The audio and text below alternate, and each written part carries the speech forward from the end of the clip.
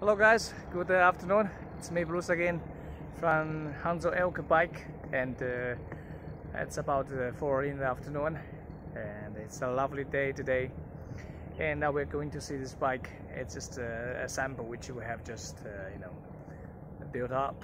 Uh, let's see what it is like.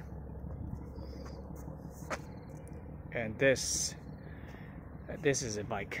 It's a low rider bike and uh, it's a lovely bike. So we have the the size of the bike is 20 inch. We have the tire front tire to be 22 inch. And the rear tire is 20 so the, the front is slightly uh, bigger than the, than the, than the rear. So that's the design.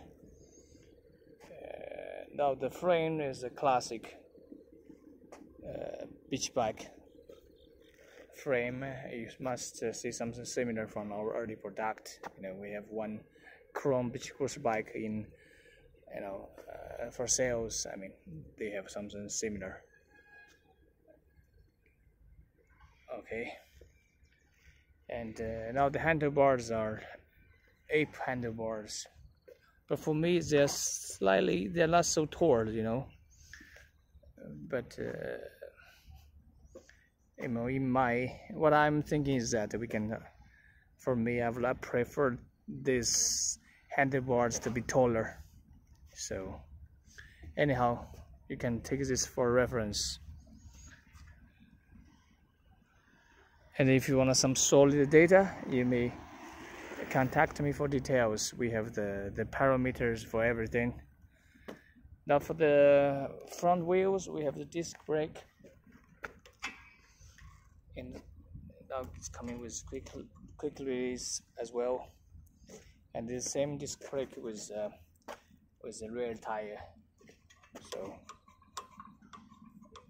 it's easy to control. And we're including this uh, antique bell as uh, as a free gift. I mean this is uh, the car is going to fade you know. But anyhow it's something like it's antique effect. What else? Now we have the actually the bike is internal three speed internal three speed. And this is hub. And we have the control light right here. So I would say this is a product highlight because I don't see this I've been this industry for many years I don't see much of this. I talked to my boss Peter he knows everything. But for me it's my it's the first time to do this it's sort of uh, old-fashioned stuff. Anyhow we are uh, you know bringing into this unit. So hopefully you know uh, people will like to you know to to give it a try on this bike so generally speaking this is an interesting bike. It's lovely style handlebar the seat and uh, I just I just ride it with a bike and uh, maybe the seat should be a little bit soft. I mean it's uh, right now the foam inside is not so thick. It's a little bit slim you know? It's a little bit thin so I can actually feel the the metal piece under this the, the seat. So that's probably what I'm what we're going to improve. But apart apart from this all the bike is fine. All the bike is fine.